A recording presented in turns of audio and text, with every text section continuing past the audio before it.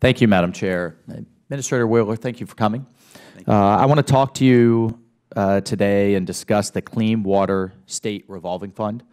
Uh, the Clean Water Fund provides communities, as you know, with low-cost financing, and I think that's an important aspect of it. It's financing for water quality infrastructure projects, and it's a, it's a critical tool for Florida uh, in, in addressing a number of our, our water challenges.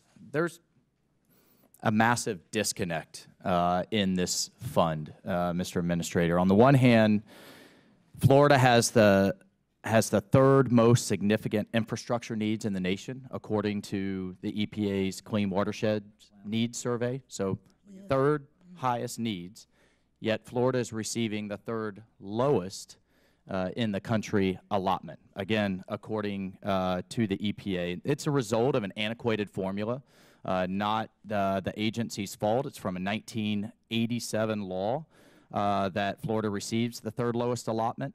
Uh, EPA's acknowledged uh, in a 2016 report to Congress and the, that the Clean Water State Revolving Fund allotment it acknowledged that, quote, in the EPA's report, most states do not currently receive appropriated funds in proportion to their reported needs or their population, uh, which has demonstrated the inadequ inadequacy of the current allotment. The report also states, quote, the weighting and factors that were used to establish the formula for the original allotment are not known.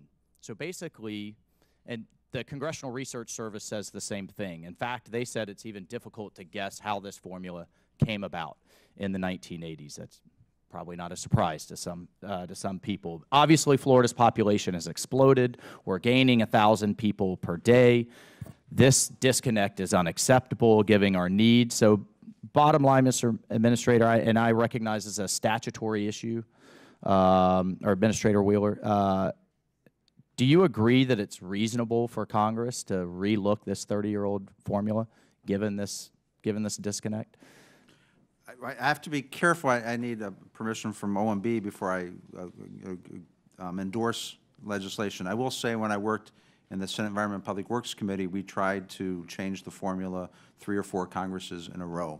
Um, and my staff and I worked at, at trying to update it.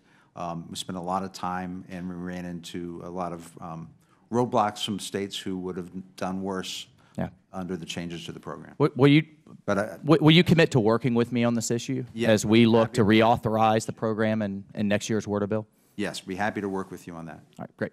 And separately, this is National Estuaries Week. I want to thank you for the good work that the EPA is doing in administering the National Estuary Program. I have the Indian River Lagoon uh, in my district in July, this committee passed H.R. 335, uh, this, the South Florida Clean Coastal Waters Act of, of 2019. The legislation established an interagency task force on, on HABs to really get some empirical data behind that, that issue. Will you submit for the record uh, what, the, uh, what the agency is doing in reducing algae blooms and how you think your agency can contribute to this task force? And in the interest of time, could you also submit for the record uh, what the agency is doing on coastal resiliency uh, and, and helping states that have coastal resiliency problems with rising seas? Absolutely.